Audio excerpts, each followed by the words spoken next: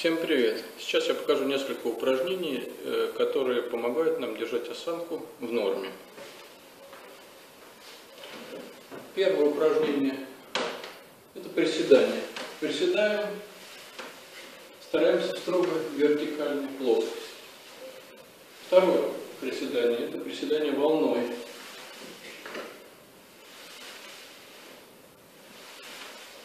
Обратная волна.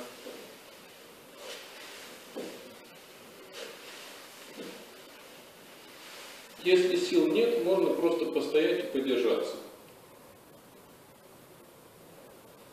Все, на этом первый комплекс упражнений закончен.